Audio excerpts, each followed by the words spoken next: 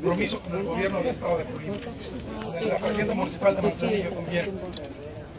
Nosotros como delegados tenemos la indicación de parte del presidente Enrique Peña Nieto de estar siempre atentos al llamado del gobernador del Estado. Créanme que el interés del gobernador en todo momento es que esta importante vialidad se haga lo más pronto posible. Sin embargo, los recursos del CONDEN, una vez que fueron liberados, nosotros tuvimos una reunión con el señor gobernador y le explicamos que eh, las reglas de operación no permiten la mezcla de recursos.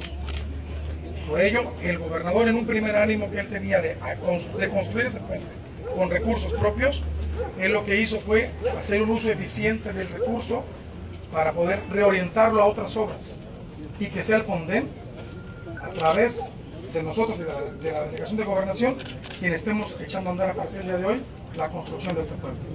Le agradecemos, gobernador, sus gestiones ante la Secretaría de Desarrollo Territorial y Urbano.